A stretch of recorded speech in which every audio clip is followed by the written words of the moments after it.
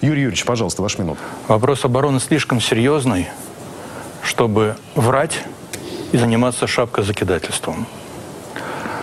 Значит, на одном из совещаний спросили, а что там случилось в Сирии? Действительно ли наши ребята погибли? Один депутат говорит, у нас пятеро гробов в регионе, другой депутат говорит, у нас четыре гроба и так далее. Никаких частных военных компаний быть не должно. Это стыд и позор. Это наши мальчишки. Мы должны выразить соболезнования женам и матерям. Государство должно полностью нести ответственность за каждого военнослужащего, постного куда бы то ни было, для выполнения тех или иных задач. Это первое. Второе. Очень много злорадства сегодня в интернете после так называемого послания конкурента нашего кандидата, нынешнего президента. Он бы должен был быть сейчас здесь. Он предпочел тепличные условия. И вот эти вот «Союз мультфильм» нас не защитит. Никакого шапка закидательства быть не должно. Спасибо, спасибо. А, Владимир Вольфович, да. пожалуйста, ваш минут. Я вынужден еще раз констатировать, что это, конечно, не дебаты в том плане, что нету кандидатов. Прекрасные люди, доверенные лица, ничего не имею против. Благодарность за вот это, это очень интересно. Бабурин на меня клевещет через 30 лет. Продолжим, продолжим чуть позже, это очень интересно, ну, продолжим чуть позже. Это чудовищно. Мы Станислав освободили, Александрович, здесь. пожалуйста. А Владимир... вместо благодарности клевета и ложь. Да, мне сейчас, э, спасибо, я представляю кандидата Ксению Собчак, она в представлениях не нуждается, поэтому не буду тратить на это время. А, мне звонил перед эфиром за 10 минут Владимир Владимирович Путин и сказал, что обязательно принял бы участие в этой полемике, если бы студия была более комфортной и большой.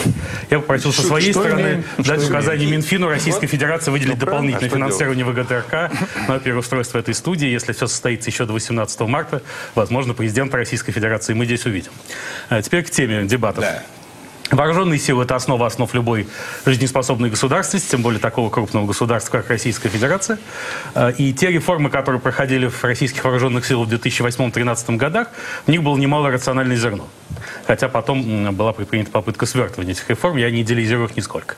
Важно действительно, как было сказано, что государство брало на себя ответственность за вооруженные силы. И за те задачи, которые не выполняет практика их там нетов, должна прекратиться, но главное прекратить состояние войны. Фактически анонсированный вчера, объявленный во время федер... послания Федеральному собранию Владимиром Путиным. Поэтому первым актом нового президента должен стать декрет о мире как это было 26 октября 1917 Спасибо. года. Спасибо. Вот страну. Спасибо. Спасибо. Юрий это Юрьевич, вот ваши две минуты 10 секунд. Уважаемые товарищи, избирательная кампания, предвыборный период, есть культура дебатов. Она предполагает, уж простите, что ни одному слову просто так верить нельзя – мы здесь по минутке, по две отцеживаем там целыми часами. Наш конкурент, нынешний глава государства, рассказывает Уж простите, я сам из оборонки, с хорошим техническим образованием. Ну уж простите, сказки. Уже анекдот по сети пошел, что там Ньютон и Эйнштейн переворачиваются в гробу, когда слышат то, что вчера рассказывал наш президент. К сожалению, это беда, это позор. Позор, что мы... Почему такой жанр? Потому что ему некому оппонировать. Никто не может там, на этом якобы послании, сдвинутом за две недели до выборов, задать квалифицированный вопрос, на который не сможет... как раз. Я прошу прощения, не перебивайте. На который не сможет ответить, к сожалению. Значит, времени мало. В нашей команде генерал Ивашов, в нашей команде генерал Соболев – Посмотрите в сети ролики генерал-лейтенанта Соболева, руководителя организации поддержки армии, оборонной промышленности, военной науки. И он подробно раскладывает, до чего опустили армию и какие бравурные рапорты о вооружении. Армата уже на двух парадах поездила. Она войсковые испытания не прошла до сих пор. Почему так получается, что все, про что мы знаем, из рук вон, и тут такие победные реляции, 40 или более минут, рассказ о чудесах – Инженеры, конструкторы, конечно, работают, но тех чудес, которых нам рассказали, быть не может. Это любой специалист знает. Шапка закидательства в обороне неуместна.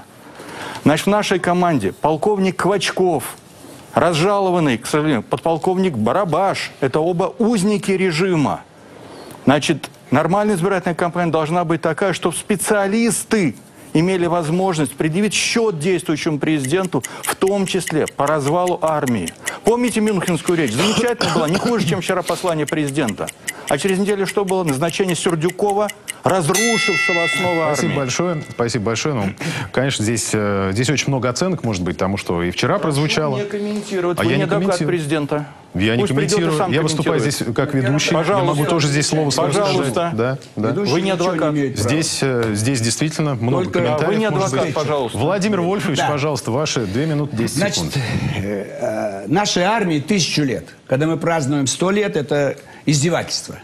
Я верю всему, что сказал Путин про наши новейшие ракеты. Я дал название «Крушение». Вот та самая страшная ракета, я требую назвать ее моим названием «Крушение». Ответ Белковский. Мы принимаем закон, по которому кандидат, И вот не прошедший образом- воинскую службу, никогда не будет Спасибо. Владимир Вольфович, что передали слово Станиславу Я Александровичу. передал, Пожалуйста, знал, ваши две минуты 10 секунд. Жаждет. Ну, я не проходил воинскую службу, потому- поскольку я- мой кандидат не проходил воинскую Да, службу. да. И мне было бы неудобно быть доверенным лицом кандидата, если бы я проходил. Конечно. Я вообще считаю, что управлять страной должны женщины. Россия для этого созрела.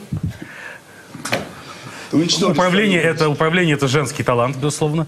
Мужчина хорошо реализует себя в четырех ипостасях. Ученый, художник, воин и святой. Но управлять страной должны женщины, и тем более должны управлять военной реформой На женщины. кухне управлять. Борщ варить, Ну, котлеты. политическая кухня. Ну и что она Владимир будет делать? давайте оставим в стороне сексизм, это не модно. Ну война же идет. Станислав, война идет в мире, вы предлагаете женщин. Да, конечно. Главе Потому русской что- армии, потому что- верховный главнокомандующий, да армия разбежится, понимаете? Страна рухнет. сказал, что каждая Страна рухнет. Господа, товарищи, давайте, давайте в все-таки дадим возможность Станиславу Александровичу закончить. Он представляет, так сказать, Поэтому- сам себя, скорее всего. Великий политолог. наш. Владимир Враг Вольфович, России. давайте, да- давайте потом... Это очень, очень почетно из уст Жириновского Враг такое слышать. России номер один. Хорошо, как врагу России номер один, можно дать мне сказать? Работает на самой клеветнической радиокомпании «Эхо Москвы» Хорошо. и «Дождь». Вот запомните. «Дождь», «Эхо Москвы» Владимир Вольфович, мы все прекрасно знаем, кто такой... Э, Вы понимаете, что я кто такой господин заплатил Жириновскому за это, потому что такой рекламы, да. Станислав, давайте. Давайте, давайте. Для того, чтобы формулировать концепцию реформирования дальнейшего вооруженных сил, надо понять, какие основные вызовы стоят перед Россией, какие угрозы. Основные угрозы – это терроризм в самых разных проявлениях, первую очередь исламский радикальный экстремизм, и Китай. Евроатлантический мир не является существенной угрозой для России, поскольку цена человеческой жизни в Европе и Америке очень высока. С Россией никто воевать не собирается. Я хотел бы также напомнить, что Соединенные Штаты Америки сыграли большую роль в том, что ядерное оружие Советского Союза все оказалось на территории России. Россия стала полностью единственной правоприемницей Советского Союза и унаследовала в том числе кресло постоянного члена Совета Безопасности ООН. Этом не, не стоило бы забывать. Не поэтому. Частный... В России есть ядерное оружие. Только поэтому А, Оно было и в других республиках бывшего Советского Союза, а вы а не было. со мной. Вот просто было Еще 4 размещено. минуты, 4 секунды. Станислав. Да, поэтому нужно запретить, безусловно, частные военные компании, а наемничество, напоминаю, является Спасибо. уголовным преступлением по Будет статье еще, 309. эм, Юрий Юрьевич, если э, позвольте, опять же цитат. Пункт 17 э, как раз предвыборной э, программы Грудинина. Э, гарантировать обороноспособность и безопасность страны, высокий научно-технический уровень оборонной промышленности, существенно повысить боеготовность вооруженных сил, э, престиж военной службы и э, правоохранительных органов. Э, расскажите, пожалуйста, как вот, э, какими А шагами, вот так, какими такие методами? фейки, как в так называемом послании президента, можно вбрасывать только если вы ликвидируете Российскую Академию Наук прямо по рецептам Американской организации по международному образованию. Я об этом подробно писал. В последний момент слово «ликвидировать» заменили на «реформировать», да, «реорганизовать», но суть-то не изменилась. Над учеными поставили финансистов, менеджеров, специалистов по недвижимости. Они не академики управляют, а управляют научными институтами, дают им задания. В современном мире обороноспособность прежде всего зависит от науки. Теперь об армии. Вы хоть трижды отмените призыв, но если довели народ до нищеты 20 миллионов человек за чертой бедности, то люди сами добровольно с песнями пойдут записываться вот в эти самые ЧВК, складывать головы за чьи-то нефтеперерабатывающие заводики. Это категорически недопустимо. Донбасс, Луганщина, сколько наших мальчишек там воевало? Добровольцы. Но не могло быть этого без санкций высшей государственной власти. Дальше. Обороноспособность зависит прежде всего, конечно, от экономики. Значит, в рамках навязанных нам, нашим противникам стратегическим стандартов, нам не поднять экономику. У нас четкая, ясная позиция. Прежде всего, разворот на экономическое развитие. Разрыв с ВТО, признание антиконституционным присоединения, взятие банковской финансовой системы Центрального банка под полный контроль разворачивание на обслуживание реального сектора экономики. Банковская система не извлекатель прибыли, а обслуживание реального производства. Центральный банк – нормальный орган госвласти, вписанный в систему разделения властей. Национализация всего системообразующего природно-ресурсового комплекса в обеспечении развития реального сектора экономики, в том числе ВПК. Спасибо. Спасибо, Юрий Юрьевич. Чувствую, сейчас Владимир Вольфович вам возразит по поводу ЧВК, который, если я не ошибаюсь, все-таки присутствует ну, практически У нас в каждой европейской стране, в. Соединенных Штатах тоже. Да. Владимир Вольфович, пожалуйста, Значит, ваши две минуты. Хотел бы, чтобы мы ни- никогда бы не раскрывали все секреты перед всем миром. Армия, госбезопасность, это никто ничего не должен знать. В Америке десятки структур и огромный бюджет, и мы ничего не знаем. А, Спасибо. и, и Спасибо. занимаемся экономикой, я согласен. Война, война ЧВК как один из э, как раз Да, факторов кибервойны. Не то есть не кибервойны, а как гибридной войны. Согласен. Спасибо. Но это же... Станислав Александрович, э, если позволите, опять же, опять же, короткая реплика, касающаяся про- э, программы. Э, Вот неоднократно в выступлениях Ксении Анатольевны мы слышали о том, что, ну, во-первых, нужно устранить военные конфликты, да, а во-вторых, есть одна угроза, это террористическая. Да. В плане противостояния как раз вот этой угрозе, что необходимо в армии изменить, каким образом модернизировать, я не знаю, там, реформировать? Я с самого начала говорил, возможно, мои слова были неправильно интерпретированы, что нам нужна сильная армия, и она должна быть еще сильнее. Сейчас численность армии миллион девятьсот тысяч человек, да, из которых миллион это военнослужащие. Эта численность представляется мне близкой к оптимальной. И я говорю лишь о том, чтобы правильно э, сформулировать систему вызовов и угроз, которые стоят перед Россией. И эта система вызовов и угроз не евроатлантический мир, а в первую очередь действительно терроризм и серые зоны на карте страны. Например, Корейская Народно-Демократическая Республика, которая почему-то стала нашим союзником, хотя, может быть, она об этом и не знает. Да, на мой, на мой взгляд, гораздо больше угроза, чем Евросоюз. Потому что чем? пове- поведение Пхеньяна непредсказуемо. Потому что они Они американцы. же не против нас, они против Америки. Наш союзник Они будут, бы они будут против того, в кого решат в в нужную секунду. Это совершенно непрозрачный, ни- ни- никем не управляемый по мотивации режим, который А кто его сегодня, создал? сегодня шантажирует. разве корейцы создали? Мы северный создали, американцы южный. А что теперь на корейцев отыгрываться? Два режима создали Советский Союз и США. А Отыгрываться, теперь корейцы отыгрываться виноваты. на корейцах не надо. У нас Ну задача вот. оборонительная, а не наступательная. Вот я в этом плане Ну, нельзя же очередь, значит, обижать в- Ну, Обижать бог- корейцев никто. дай Надо- бог у них надо- сейчас переговоры нужны, чем-то нужны силы сдерживания. да? И, соответственно, армия должна реформироваться именно как силы сдерживания. Потом, действительно, как правильно сказал Юрий Юрьевич, надо уйти от фантомов, которые вчера в виде мультсериала демонстрировал Владимир Владимирович. Да? Путин. Какие-то крылатые Вы нас ракеты не уважаете. с Вы там ядерными все двигателями. были, вся элита страны, а вы, говорите, что нам показывали мультики. Ну зачем так делать? Поезжайте в Министерство обороны, вас повезут на эти объекты, эти заводы, вам покажут. Как? Вы сами сказали, что там тотальная секретность. Так правильно это вы... Ну, вы там были, Владимир Вольфович? Нет. Ну, конечно, Ну, был. как не могу я быть поперек американцы уже, пекла, ну что? Американцы уже дрожат. Там скоро Да не будут кончать жизнь вообще. Самоубийством. Выбрасывай закон. Ну, Пишут в газетах, Первый действительно, пишут в министр газетах. обороны Форестол выкинулся, выбросил из окна. Русские идут. Владимир Вольфович. Владимир Вольфович, давайте обязательно дадим. Станиславу Обязательно, Александровичу обязательно это отследим. Обязательно составим Следите, реестр следите. американских Их- самоубийц и пришьем им венок список. непосредственно Да, от партии список. гражданской инициативы. Вот. Но самое главное, это избежать философии войны. Как сказал Осип Мандельштам, измученный безумством Мельпомены, я в этой жизни жажду, жажду только мира. Я говорю, что все русские семьи хотят мира, а не войны.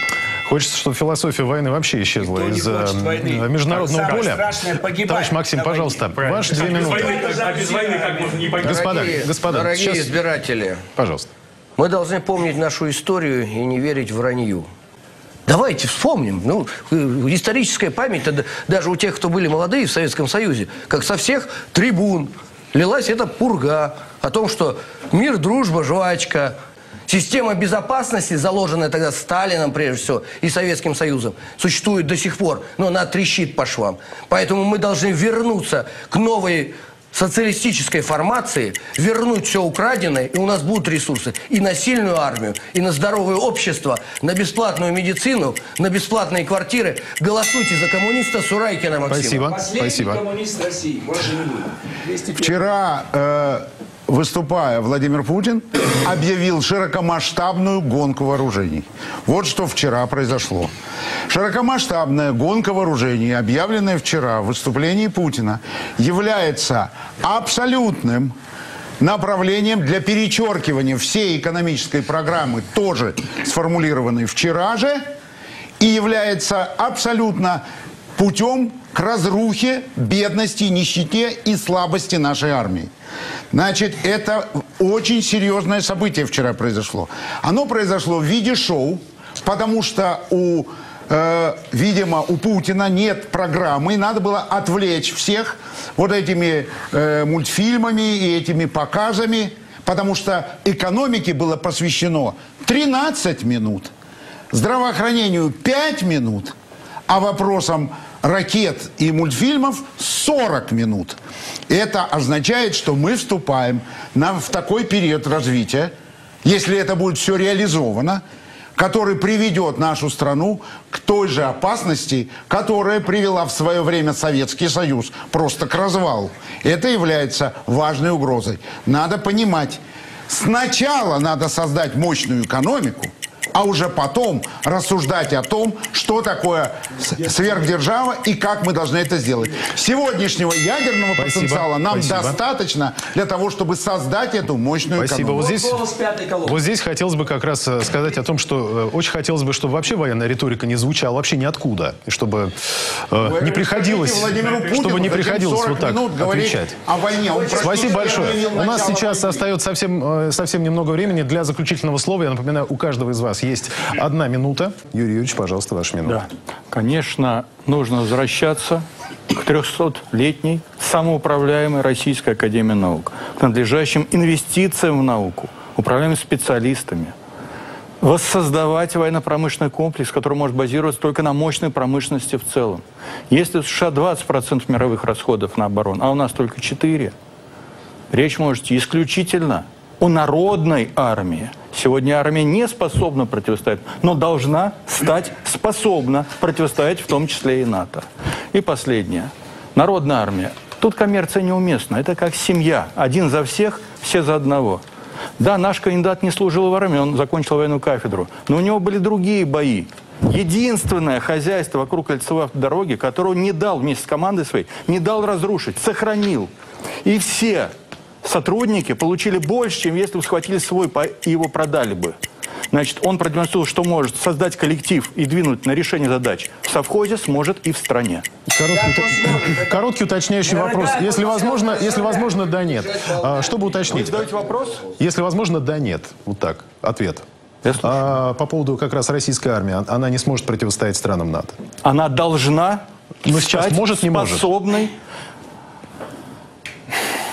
Счастью, ядерное оружие нас защищает Понятно. сегодня, но Ядерное завтра оружие. должна Владимир стать Вольфович, и по пожалуйста. обычному вооружению. Владимир Вольфович, пожалуйста, ваш минута. Я обращаюсь ко всем, кто в погонах. Солдаты, офицеры, адмиралы, а сотрудники ФСБ, полиции, поддержите меня. За меня, я только я уважаю нашу армию. Здесь стоят половина, не служили вообще. Капитулянскую линию. И надо говорить, что мы не должны воевать.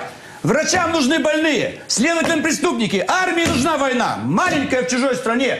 И не надо морочить головы. Нам нужен мир, мир, мир. Мир будет в чужих тюрьмах у вас. Поэтому пусть армия воюет, пусть все решает генштаб и президент. И всем, всем больше пенсии, жалования, с квартиры, Спасибо. почет Спасибо. и уважение. К сожалению, спасибо.